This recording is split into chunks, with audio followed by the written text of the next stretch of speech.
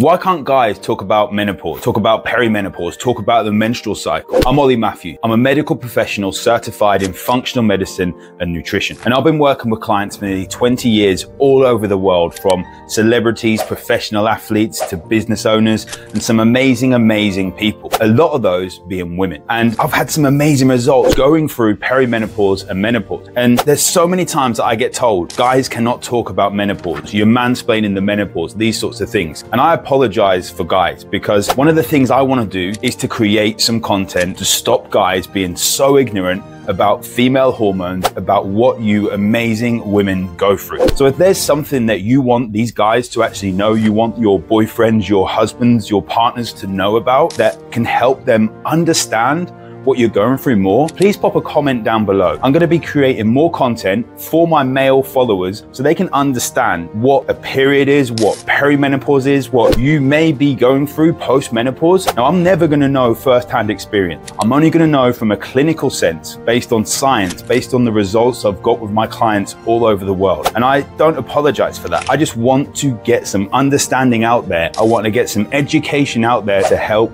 people stop being ignorant about what you amazing people are going through.